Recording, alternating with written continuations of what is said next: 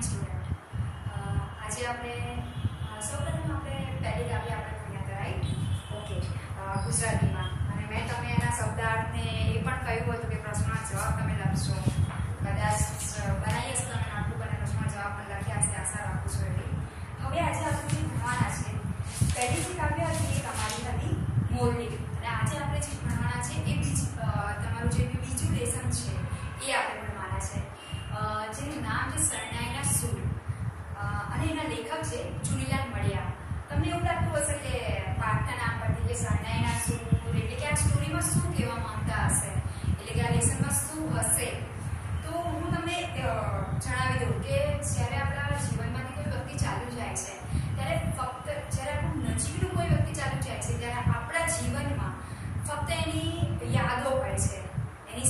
જી- આપણે જીવન જીવી ગયેલા હોય છે, બસ એ સંભાળના હોય છે. અને એને આપેલી ચીજ વસ્તુ હોય છે આપણી પાસે. એને આપેલો પ્રેમ હોય છે, એને લીધેલી કાળજી હોય છે. બાકી એના સિવાય કાંઈ વસ્તુ નથી. એટલે કે વ્યક્તિ વ્યક્તિ જાય છે એના પછી આપણને ખબર થાય છે. એવું વ્યવહારિક જીવનમાં હોય છે. તો અહીંયા અહીંયા સેમ જે કંઈક અજુતી ઘટના બને છે રમઝુ મીર, જે મુસલમાન છે જાતિએ, એ રમઝુ મીર જોડે એક અજુબતી ઘટના, એક નહીં, પણ બબ્બે એવી અજુબતી ઘટનાઓ બની જાય છે એના જીવનમાં. જ્યારે પિતા પોતાના જીવનમાં પોતાની પત્ની પણ કોઈ બેસે છે અને એક બાળકની એના ઉપર જવાબદારી આવી જાય છે અને એમાં ખાસ કરીને જ્યારે દીકરી, તો દીકરીની જ્યારે જવાબદારી આવી જાય છે, તો બહુ જ મોટી જવાબદારી હોય છે. અને એ દીકરીને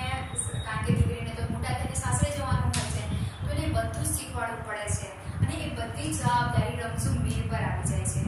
રમઝુ જે છે એ ખૂબ જ સમજદાર વ્યક્તિ છે, ખૂબ જ મહેનતુ વ્યક્તિ છે. તો આજે અને એના જીવનમાં કઈ ઘટનાઓ બને છે, શા માટે એના જીવનમાં એવું કહેવાય છે કે બે અજુગતી ઘટનાઓ બની છે એક અ, તો એની પહેલા આપણે જે લેસન શરૂઆત કરીશું તો એની આપણે જ- અ, જે ચુનીલાલ મળિયા છે એના વિશે થોડું જાણીશું કે એમનો જન્મ જે છે ચુનીલાલ મળિયા લેખક એમનો જન્મ જે થયો હતો રાજકોટ જિલ્લામાં ધોરાજી ગામમાં થયો હતો એમને રણજીત રામ સુવર્ણચંદ્રક મળ્યો હતો એમને આ જે લેખ લખ્યો છે આ જે અ, પાઠ આપ્યો છે આપણને અ, ભણાવવા માટે ટેન્થ સ્ટાન્ડર્ડમાં તો આપણને જે પિતાની વેદના હોય છે એક પિતાનું દુઃખ હોય છે જ્યારે કન્યા સ- અ, કન્યાને વિદાય આપે છે પિતા ત્યારે એ પોતાના કહેવાય છે ને કે પોતાના કાળજા પર કઠણ કાળજું રાખીને યા તો કાળજા પર પથ્થર રાખીને એ પોતાની દીકરીને વિદાય આપે છે અને આ ત્યારે જ સમજી શકાય છે જ્યારે એક જ્યારે એક યુવાન યા તો એક છોકરો જ્યારે દીકરીનો પિતા બને છે ત્યારે જ એને ખબર પડે છે બીજા નહીં બીજા કોઈના પિતાની લાગણી તો આવી રીતે અહીંયા આપણે જે ભણવાના છે એ શરણાઈના સૂર એમાં કંઈક આવી જ એક પિતાની વેદના સમાયેલી છે જે આપણે આજે ભણવાના છે એની પહેલા આપણે એમાં ઘણા બધા રૂઢિપ્રયોગ આપેલા છે ઘણા બધા તળપદા શબ્દો આપેલા છે ઘણી બધી કહેવતો આપેલી છે ગુજરાતી સાહિત્ય છે અને ગુજરાતી સાહિત્ય બહુ જ વિશાળ છે. તો આપણે બધું તો નહીં જોઈ શકીએ, એટલા માટે તમને કહું છું કે જ્યારે હું તમને એક્સપ્લેન કરી દઉં છું અને જ્યારે તમે એક વખત આખા લેસનને વાંચી જજો, જેથી તમને ખ્યાલ આવે. અને એની અંદર જે તળપદા શબ્દો છે, જે ગામની સૌરાષ્ટ્રની ભાષા કે અલગ અલગ કાઠિયાવાડમાં જે બોલાયેલી ભાષા હોય છે એનો ઉપયોગ કરેલો હોય છે લેખકે એટલે કે એ જ્યાંના રહેવાસી હોય છે ત્યાંની પણ ભાષા એમને ઉપયોગ કરેલી હોય છે જેથી આપણને સમજવામાં થોડી તકલીફ ક્યારેક ક્યારેક પડે છે એટલા માટે આપણને અ, બુકમાં પણ આપેલા હોય છે એ વર્ડ્સ તો એ પણ વાંચી જવા જરૂરી છે રૂઢિપ્રયોગો અને કહેવતો પણ વાંચવી જરૂરી છે જે તમારી બોર્ડની પરીક્ષામાં આવે છે એની પહેલા આપણે થોડા વર્ડ્સ જોઈ લઈએ આપણે થોડાક જે બહુ ડિફિકલ્ટ ટાઈમે લખ્યા છે બાકીના તમે વાંચી જજો માપડું ગાડું એટલે પડદાવાળું ગાડું પરિતોષ એટલે ખૂબ સંતોષ મળો સેટિસ્ફેક્શન મળો અડાના શાસ્ત્રીય રાગનું નામ છે જે રીતે મલ્હાર રાગ તમે સાંભળ્યું હશે એવી રીતે આ પણ એક રાગનું નામ છે કૌમુદી એટલે ચાંદની જાજવ્યમાં એટલે તેજસ્વી એકદમ બ્રાઇટ કોઠિયાન યાની સહેલી સખી ફ્રેન્ડ બલિહારી યાની રહસ્ય સિક્રેટ કાંભ્યા કર્તવ્ય નિષ્ઠ હવે જ્યારે લેસન આપેલું છે, ત્યારે એમાં પાત્રો હોય છે. હવે એ પાત્રોના નામ એ પાત્રો આપણે યાદ રાખવા પણ જરૂરી છે કે કયા પાત્રો કયા પાત્રો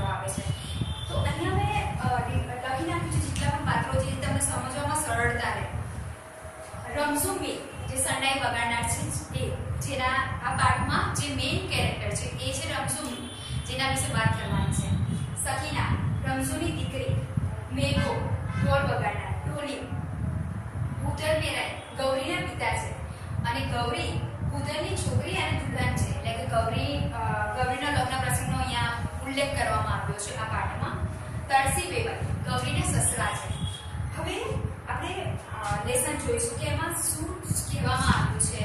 અહીંયા કન્યા વિદાય જ્યારે ગૌરીની થાય છે, ત્યારે રમઝુમીને પોતાની દીકરી પણ યાદ આવી જાય છે. હવે રમઝુમીના જીવનમાં પ્રસંગ એક એવો એવો પ્રસંગ બને છે કે જ્યાં એને અપાર દુઃખનો સામનો કરવો પડે છે એક તો જ્યારે એની જો જે છોકરી છે સકીના એનું મૃત્યુ અ, એની મમ્મીનું મૃત્યુ થઈ જાય છે જ્યારે એ નાની હોય છે ત્યારે જ એની માતા છોડીને જતી રહે છે. હવે આટલી નાની, બે કે ત્રણ વર્ષની છોકરી હશે. હવે એટલી નાની ઉંમરમાં એક દીકરીને મોટી કરવી એક અ, પિતા માટે બહુ જ અઘરું હોય છે છતાં પણ રમઝુમીરે આ જે અ, પરિસ્થિતિ આવી હતી એનો અ, એને સ્વીકાર કર્યો અને એને એની દીકરીને બધા જ લાડકોડથી લાડકોડ લડાવ્યા અને માથી પણ સવાયું પ્રેમ આપ્યો હેત આપ્યું કે મારી દીકરીને માનો પ્રેમ મળી આ માની યાદ ના આવે એ બધા જ એની, બધી જ એની જીત પૂરી કરતો હતો, બધી જ રીતે એને સાઈડ પર રાખતો હતો. જેથી એને ક્યારેય એવું ના થાય કે હું મા વગરની છું નમાઈ એટલે કે નામ મા વગરની છું. એટલા માટે એના બધા શોખ પૂરા કરતો હતો. એ જ્યારે નાની હતી ત્યારે જ્યારે રમઝુમેર ગમે ત્યાં કોઈના હું સામયું કરવા જાય કે વરઘોડામાં જાય, શરણાઈ વગાડવા માટે, તો બધી જગ્યાએ એ એને ખભે બેસાડીને લઈ જતો હતો. એની પીઠ પર બેસાડીને લઈ જતો હતો. અને અ, એટલે કે એનાથી ક્યારે પણ એને અલગ નથી કરી અડગી નથી કરી એને હંમેશા એના જેટલા પણ જે પણ એ માંગતી હતી એ બધી જ એની જીત પૂરી કરી હતી.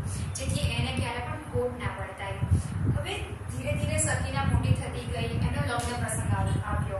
હવે લગ્ન, એના લગ્ન થઈ જાય છે, કન્યા જ્યારે એની દીકરીને વિદાય કરે છે, એ દુઃખ ઘણું બધું એને વેદના, એની વેદના એને ઘણી બધી છે દુઃખમાં. કે મારી દીકરી, આજે હું એકલો થઈ જઈશ.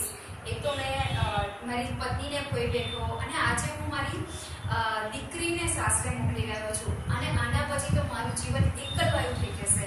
અને આખા ઘરમાં એટલો જ હોઈશ. હવે જ્યારે કન્યા વિદાય થાય છે, એ કન્યા વિદાય તો કરી દે છે પરંતુ એના આઠમે દિવસે કન્યા વિદાય એને સાસરે, સખીના જ્યારે સાસરે જાય છે, ત્યારે એ સખીના આઠમા દિવસે એનું સાસરીમાં કંઈક બન્યું હશે, એનો ઉલ્લેખ નથી કર્યો, એનું મૃત્યુ થઈ જાય છે. આ સમાચાર સાંભળતા જ રમઝુમીર જાણે ભૂકંપ આવ્યો હોય એના જીવનમાં, જાણે કોઈએ એના ઉપર દુઃખોનો પહાડ તૂટી પડ્યો હોય, જાણે એનાથી કિસ્મત, કુદરત એનાથી ઉઠી હોય, એવો એને અનુભવ થાય છે કે મારી સાથે આ શું થઈ રહ્યું છે? આઠમા દિવસે જે છોક, જે દીકરીને મેં આટલી લાડ પ્યારથી એને પોષીને મોટી કરી અને આજે એના જ મૃત્યુની ખબર મને સાંભળવા મળે છે. એક બાપ થઈને એની જુવાન બાપ થઈને એની જુવાન જો જો છોકરાઓ મરી જાય, એનું દુઃખ અસહ્ય હોય છે અને એ કોઈને પણ કહી ના શકાય એવી વેદના હોય છે. અહીંયા એ દુઃખમાંથી માંડ માંડ બહાર આવે છે જેમ તેમ કરીને. હવે એની યાદ એને વીસ વર્ષો પછી આવે છે અને એ વીસ વર્ષો પછી એને યાદ આવે છે ત્યારે એ ઘણું બધું દુઃખ અનુભવે છે અને એ લગ્ન પ્રસંગ છે ગૌરીનો. કારણ કે એના જ ગામમાં એક ગૌરી નામની દીકરીનું લગ્ન લેવાય છે. લગ્ન લેવાય છે ત્યાં એનો કન્યા વિદાયનો સમય આવે છે અને સમય બગાડવા માટે એને બોલાવવામાં આવે છે. જ્યારે કન્યા વિદાય માટે જે સુકન થાય છે, તો એ સુકન તમે જોતા જશો એક ગામડાનો પ્રસંગ તમે ક્યાંક ગુજરાતી પિક્ચરમાં જોયું હશે, કદાચ. અને ના જોયું હોય તો કોઈ ગુજરાતી જૂના પિક્ચર તો એમાં જોઈ લેજો કે પહેલાં જે જાન જતી હતી, એ ગાડામાં જતી હતી.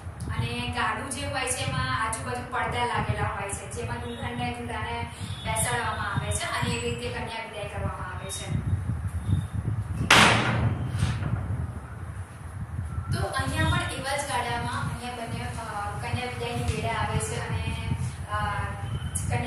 માટે જ્યારે ગામનો જે છેડો હોય ત્યાં છોડવા માટે બધા જાનૈયાઓને બધા જાય છે, સાસરી પક્ષવાળા અને પિયર પક્ષવાળા બંને હોય છે. હવે બંને આમ સામ સામે ગીતો ગાય છે, જે જાનમાં જે બૈરા જે સ્ત્રીઓ આવેલી હોય છે, પછી પિયર પક્ષમાં જે સ્ત્રીઓ આવેલી છે, એ બધા ગીતો ગાય છે. અને આમ વાસ્તે ગાસ્તે કન્યા વિદાય વેળા વાસ્તે ગાસ્તે જાન આવી પૂગે છે, લગ્ન પ્રસંગ પતી જાય છે અને કન્યા વિદાયનો સમય આવે છે.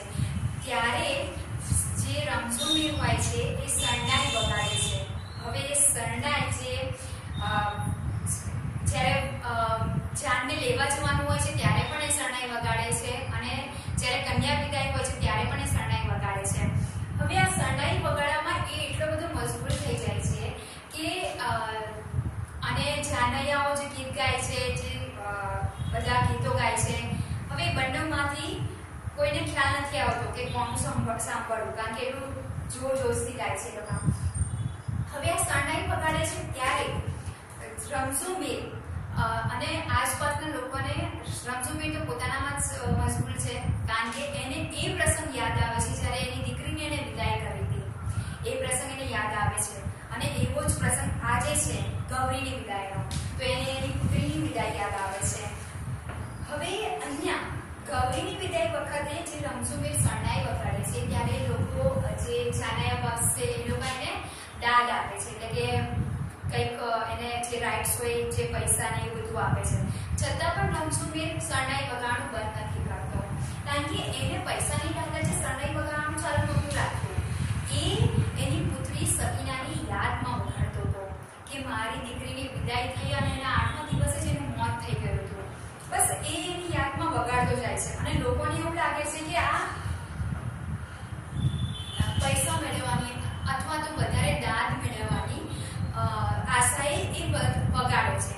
હવે એનું અપમાન પણ થાય છે. લોકો એને ગાંડો ગણે છે એનો અપમાન પણ થાય છે છતાં પણ એ શરણાઈ વગાડવાનું છોડતો નથી જ્યારે કન્યા વિદાયનો સમય આવી ગયો ત્યારે અ, જે અ, દુલ્હાના પિતા હતા, એટલે કે ઉધરના વેવાઈ અ, ગૌરીના સસરા એ પણ અ, એનું અપમાન કરી બેસે છે કે હવે તો બંધ થા હવે તો કન્યા વિદાયનો સમય આવી ગયો છતાં પણ એ બંધ નથી થતો આટલું બધું અપમાન થયા છતાં પણ હવે જ્યારે અ, જ્યારે ગામના છેવાડે જાન પહોંચી જાય છે ત્યારે એ રમઝુ મેઘ શું કરે છે એના એના ભાગમાં એના હિસ્સામાં જેટલી પણ રકમ આવી હતી રોકડ રકમ કે જે પણ આવ્યું હતું એ બધી જ રકમ એ ગૌરીના ઘોડામાં આપી દે છે. એ ગૌરીને બધી જ રકમ એને આપી દે છે. અને ગૌરીને કહે છે કે આ મારા તરફથી છે બેટા, દીકરી, આ મારા તરફથી છે, એનો સ્વીકાર કર. અને ત્યાંથી એ આગળ જતા જ્યાં કબ્રસ્તાન આવે છે, ત્યાં એ રૂકી જાય છે અને શરણાઈ શરણાઈ બગાડવું બંધ કરી દે છે. રમઝુમીરનો પ્રેમ એટલો બધો કે એને સમાજના લોકોએ કીધું હતું કે બીજા લગ્ન કરી લો. છતાં પણ એને બીજા લગ્ન ના કર્યા. અને રમઝુમીરે એકલા હાથે પોતાની દીકરીને પૂછે મોટી કરી હવે જ્યારે કબ્રસ્તાન આવે છે ત્યારે એ કબ્રસ્તાનમાં જતો રહે છે. પેલી જે રોકડ રકમ હતી જે પણ એને મળ્યું હતું, શરણાઈ બગડા બદલ, એ બધું જે ગૌરીને આપી દીધા પછી એ સ- કબ્રસ્તાનમાં જતો રહે છે અને જ્યાં એને એની પત્નીનું જે સ્મારક હતું જ્યાં એની કબર હતી ત્યાં બેસી જાય છે અને એવું કહેવાય છે કે એ જે જે ગૌરીના લગ્નમાં જે અ, ગૌરીની વિદાય વડે વિડાય કે એના લગ્નમાં જે શરણાઈ વગાડી હતી એ એનો છેલ્લી વખત હતી શરણાઈ અને એના પછી ક્યારે પણ ગામના લોકોએ કે કોઈએ સાંભળી નથી. એટલે કે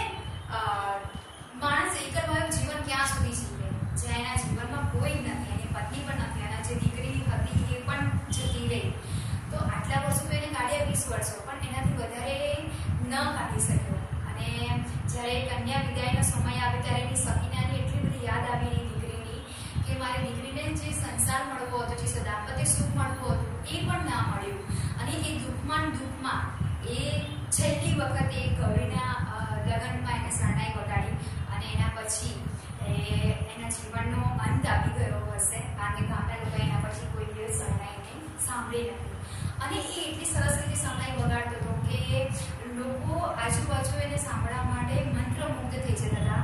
બહુ જ સરસ રીતે એ સમય બગાડતો કે આ બધા એકાને સાંભળવા માટે બેસી જાય. એક એક જ ટચ થઈને, એક ટચ થઈને.